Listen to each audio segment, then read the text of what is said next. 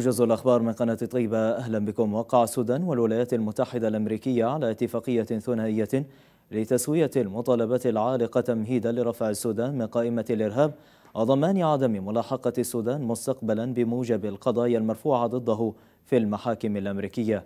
وبموجب الاتفاق دفع السودان مبلغ 335 مليون دولار بالإضافة إلى إلزامه بدفع مبلغ جديد قدره 72 مليون دولار. يأتي هذا الاتفاق بالتزامن مع الأزمة الاقتصادية التي يعاني منها المواطن السوداني بالإضافة إلى رفع الدعم الحكومي عن المحروقات ما تسبب في زيادة معاناة المواطن.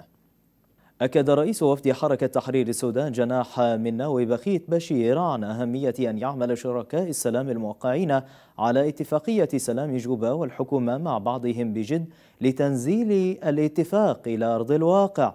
قال بشير لدى حديثه في ندوة نظمها المركز الإفريقي للدراسات إن السلام لو لم يجد شركاء حقيقيين يظل مجرد وثائق مكتوبة مشيرا إلى كلفة الحرب الباهظة موضحا أن الأوضاع في السودان الآن متردية تحتاج أن يتحرك الجميع لإصلاحها وأن يحسوا بأنهم على مسافة واحدة من الوطن.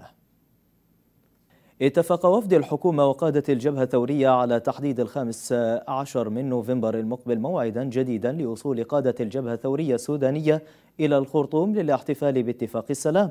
قال رئيس لجنة الوساطة الجنوبية المستشار توت جلواك في تصريح صحفي إن أطراف العملية السلمية ولجنة الوساطة وشركاء السلام سيحضرون هذا الاحتفال بالخرطوم. أعلن المجلس المركزي لقوى الحرية والتغيير رفضه لتصريح قوات الشرطة ردا على بيان والي الخرطوم حول أحداث موكب الواحد والعشرين من أكتوبر. وصف البيان تصريح قيادة الشرطة بالمؤسف والسابقة الخطيرة التي تقف قحط ضدها بحزم.